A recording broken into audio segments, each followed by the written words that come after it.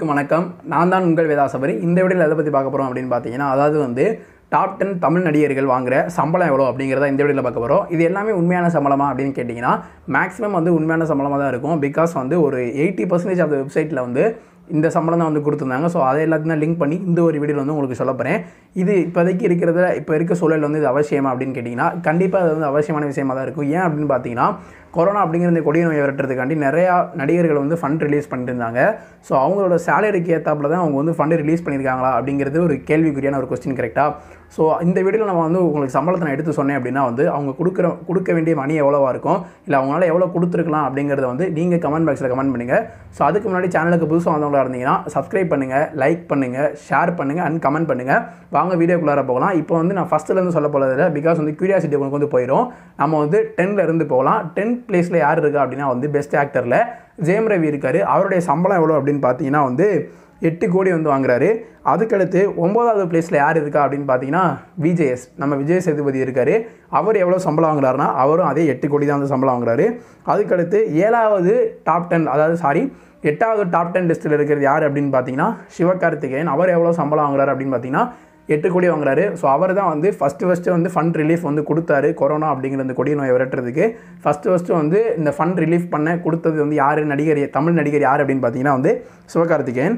அடுத்து ஏழாவது பிளேஸில் யார் இருக்கா அப்படின்னு பார்த்தீங்கன்னா ஆக்டர் கார்த்தி கைதி படம் தெரிக்க விட்டாரா அவர் இருக்கார். அவரும் எவ்வளோ சம்பளம் வாங்குறாரு அப்படின்னு பார்த்தீங்கன்னா எட்டு கோடி தான் சம்பளம் வாங்குறாரு. அதுக்கடுத்து சிக்ஸ்த்து பிளேஸில் இருக்கிறது யார் அப்படின்னு பார்த்தீங்கன்னா விக்ரம். விக்ரம் வந்து மோஸ்ட்லி நிறையா கெட்டப் வந்து போடுவார் கரெக்டாக நம்மளுக்கே வந்து குழம்பி போயிடுது விக்ரமா அப்படின்னு சொல்லிட்டு. அன்னியன் படத்துக்கு நடித்தது விக்ரமா அப்படின்னு நம்ம வந்து கேள்வி கேட்டிருப்போம் சின்ன வயசில். அவர் எவ்வளோ சம்பளம் வாங்குறாரு அப்படின்னு பார்த்தீங்கன்னா டென் க்ரோர்ஸ் பத்து கோடி வந்து வாங்குறாரு. அதுக்கடுத்து அஞ்சாவது பிளேஸில் யார் இருக்கா? அஞ்சாவது வந்து சிறந்த நடிகர் பிளேஸில் யார் இருக்கா அப்படின்னு பார்த்தீங்கன்னா அசுரன் தனுஷ் வந்து இருக்கிறாரு அவ்வளோ எவ்வளோ சம்பளம் வாங்குறாரு அப்படின்னு பார்த்தீங்கன்னா பதினாலு கோடி வந்து வாங்குறாரு. அதுக்கடுத்து நாலாவது பெஸ்ட் ஆக்டர் லிஸ்ட்டை பிடிச்சிருக்கிறது யார் அப்படின்னு பார்த்தீங்கன்னா சூர்யா எவ்வளோ சம்பளம் வாங்குறாரு அப்படின்னா இருபத்தஞ்சு கோடி. அவர் நிறையா ஃபவுண்டேஷன்லாம் வச்சு நடத்திட்டு இருக்காரு. கரக்கட்டளைகள் அப்படின்னு சொல்லி நிறைய ட்ரஸ்ட்லாம் வச்சு நடத்திட்டு இருக்காரு. ரொம்பவே உங்களுக்கு ஹேட்ஸ் ஆஃப் சார் அதுக்கடுத்து வந்து மூணாவது பிளேஸில் யார் இருக்கா அப்படின்னு பார்த்தீங்கன்னா தலை. எவ்வளோ சம்பளம் வாங்குறாரு அப்படின்னா நாற்பத்தி ஐந்து கோடி. ஃபார்ட்டி ஃபைவ் க்ரோர்ஸ் வந்து வாங்குறாரு. அதுக்கடுத்து ரெண்டாவது பிளேஸில் இருக்கிறது யார் அப்படின்னு பார்த்தீங்கன்னா சூப்பர் ஸ்டார் ரஜினிகாந்த். நான் ரஜினிகாந்த் முதல் பிளேஸில் இருந்தான்னு நினச்சிட்டு இருந்தேன் அப்படின்னு நிறைய பேர் நினச்சிருப்பீங்க. நானும் அப்படி தான் நினச்சேன். பட் கிடையாது. ரஜினி எவ்வளோ சம்பளம் வாங்குறாரு அப்படின்னு பார்த்தீங்கன்னா ஐம்பத்தஞ்சு கோடி வாங்குறாரு. ஃபிஃப்டி ஃபைவ் க்ரோர்ஸ் ஃபஸ்ட்டு பிளேஸில் இருக்கிற யார் அப்படின்னு இப்போயே உங்களுக்கு கேஸ் தெரிஞ்சிருக்கும். தளபதி தான் வேறு யாரும் கிடையாது. தளபதியோட சம்பளம் எவ்வளோ அப்படின்னா அந்த மாஸ்டர் படம் இப்போ அப்படின்னு ஒரு படம் இப்போ வந்து நடித்தார் கரெக்டாக அதுக்கு எவ்வளோ சம்பளம் வாங்கியிருக்காரு அப்படின்னா வந்து அறுபது கோடி வந்து சம்பளம் வாங்கியிருக்காரு. சிக்ஸ்டி க்ரோர்ஸ் அறுபது கோடி அப்படிங்கிறது ஒரு பெரிய நம்பர் கரெக்டாக தேர்ட்டி ஃபைவ் மெர்சல் வந்து தேர்ட்டி ஃபைவ் இன்க்ரீஸ் மெர்சல் வந்து தேர்ட்டி ஃபைவ் வந்து வாங்கினாராம். அதுக்கடுத்து வந்து மெர்சல் வந்து ஒரு பெரிய மிகப்பெரிய ஹிட்டு கரெக்டாக அதுக்கடுத்து சர்க்கார் அப்படிங்கிற ஒரு படம் மிகப்பெரிய ஹிட்டு அதுக்கடுத்து வந்து எல்லா படமே வந்து மேக்ஸிமம் ஹிட் ஆயிடுச்சு அதனால வந்து பிகிலில் முடிச்சு இப்போ வந்து மாஸ்டர் அப்படிங்கிற ஒரு படம் வந்து ரிலீஸ் ஆக போகுது. ஸோ அந்த படத்துக்கு எவ்வளோ சம்பளம் வாங்கியிருக்காரு அப்படின்னா அறுபது கோடி வந்து சம்பளம் வாங்குறாரு.